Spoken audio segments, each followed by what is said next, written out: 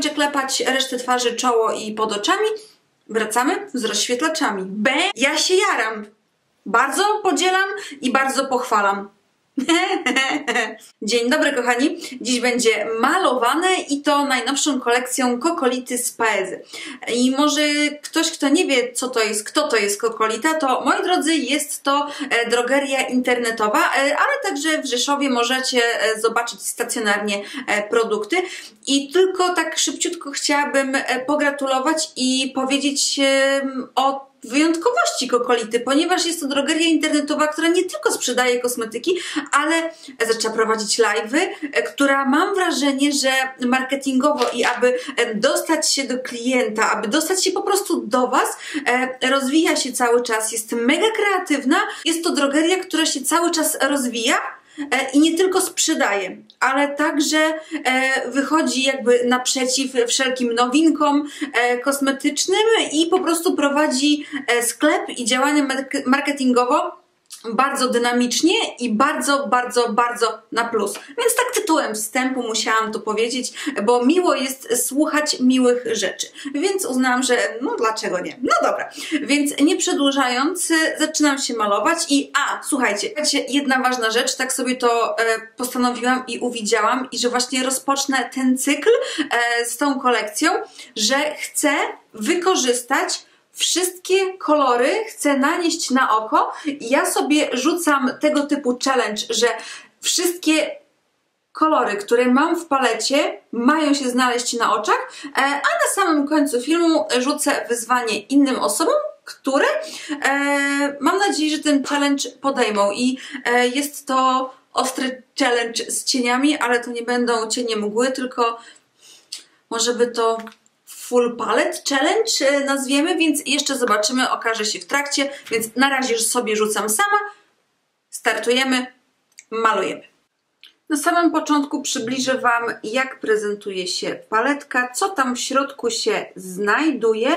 Tutaj te dwa kolorki są bardziej brokatowe, natomiast te metaliczne, reszta jest matowa, i tutaj może najbardziej krzyczy do mnie ten kolor. On do mnie krzyczy. Oj, jak on do mnie krzyczy. I Wam pokażę. Mam nowe paznokcie, to się pochwalę. Boże, mała rzecza cieszy. W sumie nie taka mała, dość długa. O, tak się prezentują. Ładnie! No ten, ten to jest w ogóle sztos. Y, i zesłoczowałam ten odcień, e, tutaj o ten, o tutaj o ten e, i powiem Wam, że jest to mat, ale z drobiną, czyli nie jest to metaliczny cień, tylko jest matowy, więc myślę, że z tym będzie bardzo podobnie. Cudowny kolor, w ogóle nie wiem jaki to jest kolor, to nie jest niebieski, to też nie jest fioletowy, ale jest po prostu prześliczny. Dobrze, więc zabieram się za mój challenge i zaczynam się malować. E, dzisiaj na oczach będą wszystkie kolory ale nie będzie tak, że jedno oko takie, drugie takie, czyli podzielimy sobie to 5 na 5. Nie, nie, nie! Wejdą wszystkie. Przynajmniej e, tak zakładam. To, co jest warte podkreślenia, wcześniej tego nie widziałam, dopiero teraz jak Wam e, zesłoczowałam tych kilka kolorów, paletka wykonana ręcznie w Polsce. E, nie wiem, czy wiecie, ale sporo palet. Chodzi o kartoniki, jest po prostu wykonywana w Chinach, a środek na przykład w Polsce, więc tutaj podkreślam miło, sympatycznie. Lecimy. Standardowo zapraszam bliżej i zaczynamy odliczanie cień numer 1. Wanilia. I go położę pod łukiem brwiowym oraz delikatnie wewnętrznej części oka, bardziej bliżej nosa. Ok, waniliowy nałożony, ale nie obraziłabym się, gdyby on był troszeczkę jaśniejszy, bo e, jest różnica między bazą, jak nałożyłam pod łukiem brwiowym jasnym, a tym waniliowym, ale wszystko nam się zaraz pewnie wymiksuje, więc nie czepiam się. Dobra, lecimy i kolor numer dwa. I tak sobie patrzę, że jako dwójeczkę damy ten odcień, nektar. Bardzo, bardzo, bardzo ładny brzoskwiniowy kolor. Bardzo. Bez kitu, bardzo, tak. E, I tym jakże bardzo, bardzo, bardzo ładnym kolorem. Zaznaczę, ale do połowy załamanie powieki, bo chcę mocno zaakcentować ten piękny niebiesko-fioletowy. Więc tutaj wrzucę brzoskwinię. Kolor, jako kolor przejściowy też bardzo, bardzo, bardzo ładny. Jako kolor numer 3 chłodny różyk i on wejdzie troszkę niżej niż poprzedni brzoskwiniowy. Pokazuję. Bardziej w zewnętrznym kąciku. Ale delikatnie brudząc nasz brzoskwiniowy. Jak patrzyłam w palecie, to myślałam, że ten chłodny róż jest ciemniejszy niż brzoskwiniowy, ale chyba nie. Więc y, jeszcze go przemycę w jakimś innym miejscu, y, a zewnętrzny kącik i tak przyciemnie. Kolor numer 4 i głęboki brązowy. I on idzie przy linii rzęs na zewnętrzny kącik. I dobrze, że nałożyłam ten chłodniejszy róż, bo ładniej mi się to teraz wszystko ze sobą połączy, a między brzoskwinią a tym ciemnym byłby zbyt duży kontrast i mogłaby mi się zrobić nieelegancka plama. A tak akceptacja. I pora na kolor, na który czekałam. Specjalnie wzięłam także pędzel pod kolor z Malo i Boho, więc tym, tym, tym, tym, tym, tym, tym, tym, tym, tym, tym, tym, tym. Piękny, Boże! Ten kolor na pewno ma imię i ten kolor na pewno jakoś się nazywa, ale nie jestem w swojej głowie go, wiecie, tak zdefiniować, bo to nie jest fioletowy i to też nie jest niebieski. To jest. On się nazywa safron. Szafron? czyli szaf, szafron, szafronowy? Szafran? Szafran? Szafran? Taki ma kolor szafran? Dobra, może ja to później obczaję, a tymczasem go nałożę. I ten kolor idzie tutaj na załamanie. Ej no, nałóż się, żeby się połączyć z brzoskwiniowym może powinnam nałożyć bardziej to takim e, zbitym pędzlem. Czekajcie, ja wezmę bardziej zbity pędzel, może lepiej nam tutaj pójdzie. Albo nie, dobra, no jeszcze popróbujemy. Czyli więcej, więcej, więcej. No i będę robić złote odcięcie, dlatego tutaj chcę go dać bogaciej. Ale chyba jednak muszę bardziej zbitym pędzlem. Okay, lepiej. Przepraszam, że jestem już w połowie odcięcia, ale miałam niewłączoną kamerę, a gadałam sama do siebie. Więc y, powtarzając od początku to, co się nie nagrało, e, moi drodzy, e, niebieski nałożony, położyłam go także wyżej, aby odcięcie było bardziej skontrastowane i widoczne, ponieważ tutaj też chcę nanieść złoty kolor. E, więc korektor, cieniutki pędzelek i odcinam znaczy się kończę. Odcięcie gotowe. Szybciutko, póki korektor mokry. Pora na błysk i chyba pójdę w ten. Jeszcze zastanawiałam się nad tym złotym, ale ten będzie mi chyba bardziej pasował, więc lecę. Dobry wybór. Jest to coś pomiędzy Rose Gold, właśnie łosoś, złoty, Zazwyczaj tego nie robię, a mowa o graficznej kresce, ale przez to, że mamy kolekcję pszczółkową, to pszczółki mi się kojarzą z paskami i dlatego graficzna kreska, bo pasek. Jakoś tak po prostu. E, ale do czego tutaj jeszcze bym e, dążyła? O ten. I ja myślałam, że jest to cień matowy z drobinką, ale jest to, słuchajcie, taki cień półtransparentny. On jest, y, mam wrażenie, że z podkładem delikatnie e, właśnie mm, mm, brzoskwiniowym, a jest wypełniony drobinką i ta drobinka pod wpływem tarcia delikatnie się rozpada i ten cień jest taką mgiełką. Mam nadzieję, że zrozumieliście. No i właśnie ten cień jako chyba już siódmy, tak, siódmy, rozświetlę i nałożę przy granicy z niebieskim i tym złotym, który kładłam wcześniej. Tu mniej więcej tak zrobiłam w tym oku, więc powtórzę czynność na drugim. Bliziutko i on ma delikatną srebrną drobinkę, która właśnie podczas nakładania nie to, że pęka, nie wiem jak to powiedzieć, ale po prostu podczas e, ruchu pędzla one się bardziej rozbijają i dają taki rozświetlony efekt. Użyłam bazę na dolną powiekę, więc pora na kolor ósmy e, i tutaj będzie to ten najciemniejszy kolor z drobinką, ale sam w sobie jest matowy i zaczynam od zewnętrznego kącika. Spoko, spoko, kładę na bogacie i za chwilkę to wszystko będę wycierać i przecierać. Po prostu chcę zapigmentować zewnętrzny kącik. Następnie biorę cień dziewiąty w kolejce, przedostatni e, i rozciągnę i wyblenduję granicę tego ciemnego trochę uspokoję. Chciałam, ciągle chce mi się powiedzieć, że jest to czarny kolor, ale słuchajcie, nie jest to czarny kolor, chyba, to, że jest to czarny matowy, ale ma bardzo dużo drobiny bordowej. Mm, więc to wtedy by mi pasowało, że on jest czarny, ale bardziej bym powiedziała, że jest ciemny granat? Nie, nie wiem.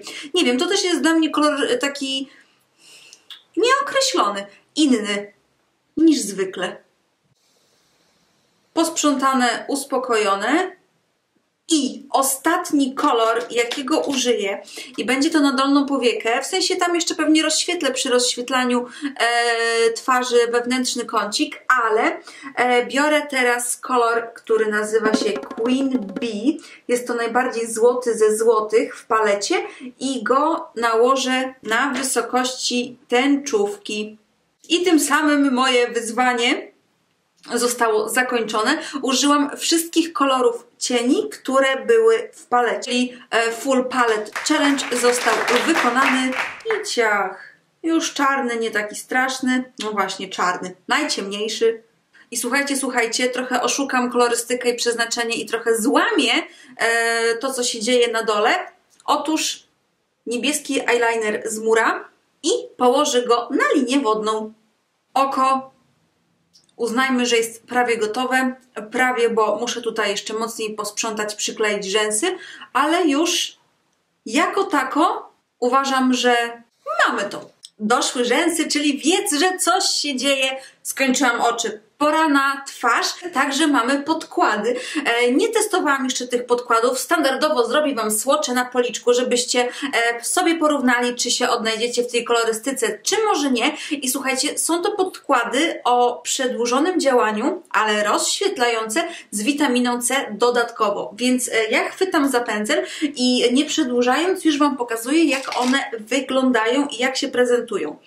Więc dobra, ciach. Numer jeden kolor beż, kolor numer dwa i piaskowy beż, kolor numer trzy naturalny, ale, ale sobie odstępy porobiłam i kolor numer cztery miodowy. Pojechałam po kolczyku. Tak się prezentuje kolorystyka podkładów. Mowa o tym podkładzie. I z ciekawostek podkład ma szpatułkę do wyciągania i jest w szklanym pojemniczku. Lecę z kolorem numer jeden, nakładam go na twarz, e, no i też opowiem Wam o moim pierwszym wrażeniu, bo jeszcze nie miałam i nie testowałam wcześniej tego podkładu. Standardowo gąbeczka, wbijam równomiernie podkład w gąbkę. Ładnie pachnie. Potwierdzam, to podkład, ładnie pachnie. Krycie ma wystarczające. Delikatne rozświetlenie? Także nie?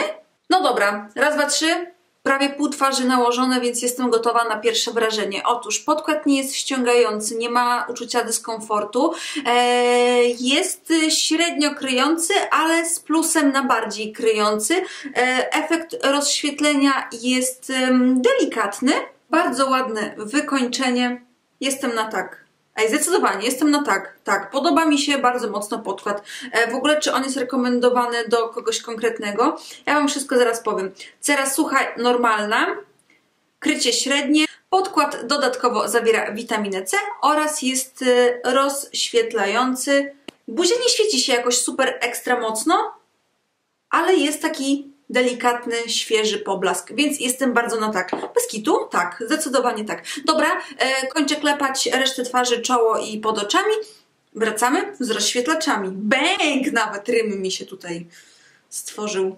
Zaraz wracam. Bronzer nałożony, puder nałożony. Pora na rozświetlacz i uwaga, e, są trzy rozświetlacze w sticku ale od razu Wam powiem, że nie będę go używać, ponieważ e, ja jestem jakoś oporna na tego typu rozświetlacze. Ja się nie umiem nimi posługiwać, ja nie wiem jak, nie wiem gdzie, e, no to pora się nauczyć. No może i tak, ale po prostu jak mam inne rozświetlacze, to zawsze wybieram te inne niż w sticku. Ale protip, e, słuchajcie, tego typu rozświetlacze są mm, bardzo fajne na linię wodną. One zamiast białej czy beżowej kredki rozświetlają nam ładnie oko.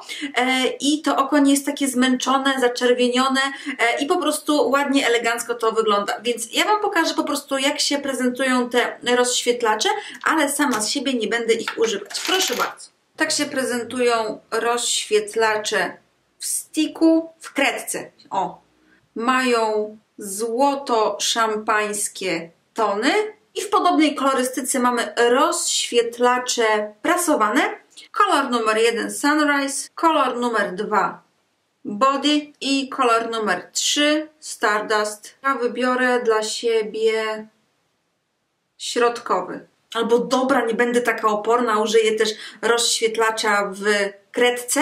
Może się przekonam, może zaiskrzy, zobaczymy. Dobra, więc y, troszeczkę biorę na pędzelek. Strategiczne punkty. I rozświetlacz prasowany. No. Bardzo lubię, jak efekt jest od razu. Świeci się.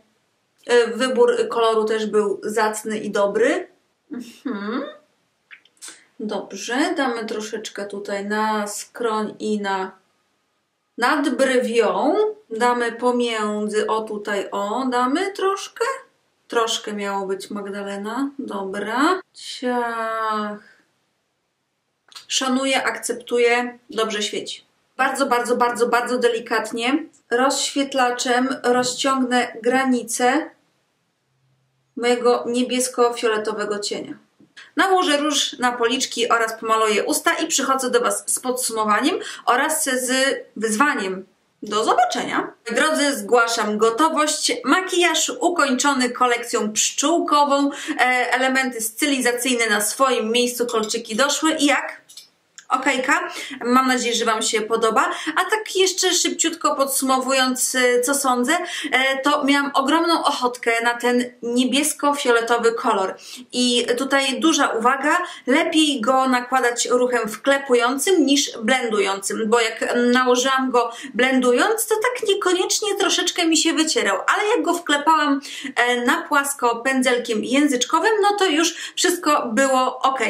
A tak poza tym daje okejkę, błyski się ładnie przykleiły e, i to co muszę podkreślić, kolorystyka tej palety jest mega ciekawa i intrygująca, ponieważ nie jest to jedna z palet, która jest paletą, mm, o to już było, to co się znajduje i jak się znajduje, ponieważ e, mamy tutaj błyski, e, te dwa kolory, tak dobrze mówię, nie, cofnij, e, te dwa odcienie są błyszczące, metaliczne, natomiast ten i ten kolor są to kolory matowe, ale z drobinką, a przez to, że ta drobinka się em, delikatnie rozpada, to ten kolor, błysk nie jest właśnie do końca błyskiem, tylko jest to taki złamany mat delikatnym brokatem i to jest bardzo fajne. Resztę kolorów mamy w macie, no i ten e, kolor po prostu jest fantastyczny. Jest też taki nieoczywisty, ni to chłodny róż, bardzo ładny brzoskwiniowy, więc jest to bardzo fajna paleta, dzięki której możemy stworzyć wiele wiosennych makijażowych kombinacji, czy jako akcent, czy jako rozświetlenie, e, czy szaleństwo, jak widzicie na załączonym obrazku. Co do produktów do twarzy, e, jeżeli chodzi o rozświetlacze w kredkach, no to jak wspomniałam, ja po prostu tutaj nie jestem fanem tego typu rozświetlenia, więc nie jestem tutaj do końca obiektywna, e, ponieważ to są moje wewnętrzne preferencje.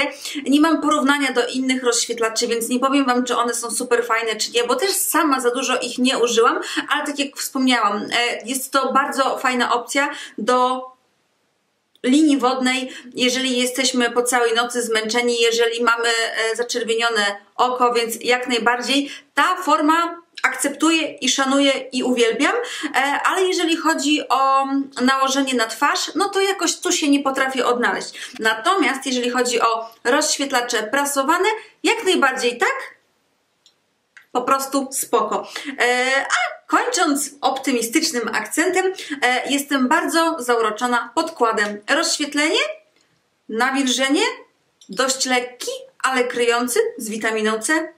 E, jak widzicie, ładnie wygląda na twarzy. Znaczy się tak mi się przynajmniej wydaje, i że wygląda. Więc jak najbardziej podkładem jestem na tak, tak, tak, razy trzy bym nawet powiedziała, z wykrzyknikiem również. No I takie oto moje zdanie na temat e, palety, która powstała przy współpracy z Kokolitą Drogerią Internetową oraz Peze oraz reszty kosmetyków e, rozświetlających z Peze.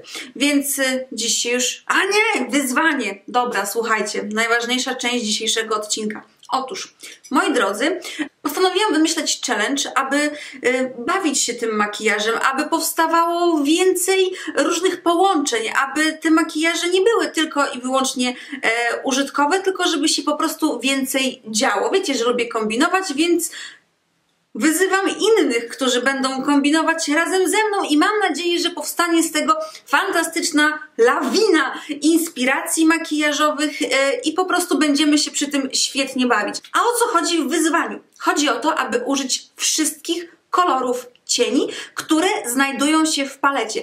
E, I tu nie chodzi o palety, które będą miały cztery kolory cieni, tylko tutaj zaczynamy od palet 10 wzwyż. Czyli jeżeli paleta ma 12 kolorów, używamy 12. I jeżeli ktoś się podejmie wyzwania, żeby użyć palety, która ma 20 kolorów, fantastycznie! Ja się jaram.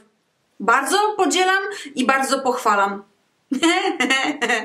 tak. Ja dziś użyłam 10 kolorów i następne osoby, które nominuję do tego challenge'u jest to Marta z Malo.